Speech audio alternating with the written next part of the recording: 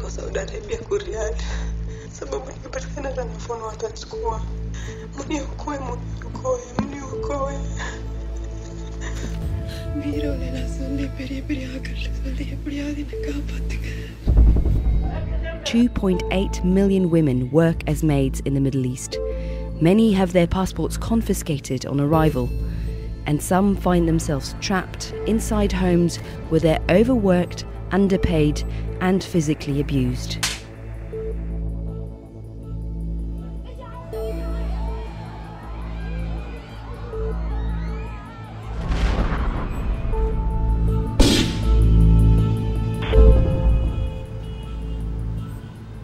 Emma Mbura is a Kenyan senator who campaigns for the rights of Kenyan women who are sent as domestic servants to the Middle East.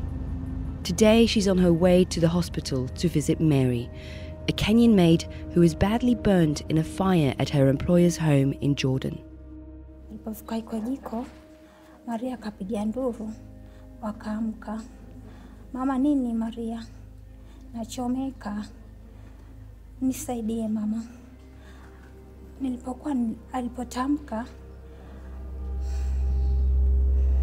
Nilihisi kuna mtu ananipiga mateke.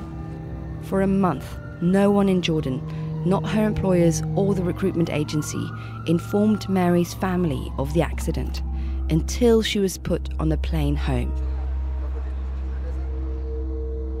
Now this is her.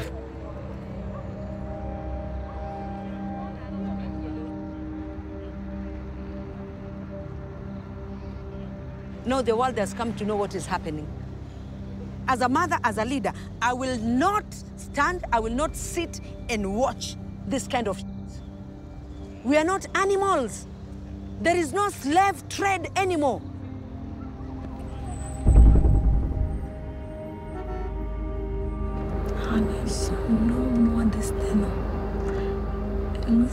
No more baby.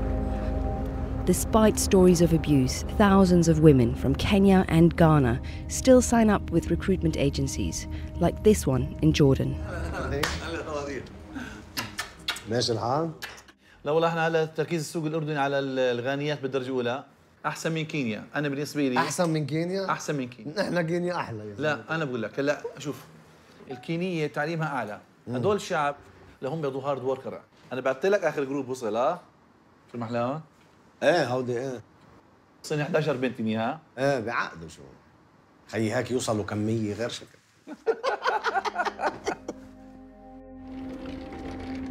You are welcome here. And you have a good choice that you have Mr. Yusuf. He's one of the best agency in Jordan. Thank you, Dad. We must call you Dad. Lily, thank you. يا حبيبي بلشنا I appreciate. Thank you very much. And you too also so beautiful, really. Thank You're welcome. Neither of these agents is accused of abuse, but the abuse does happen, often behind closed doors and usually unreported.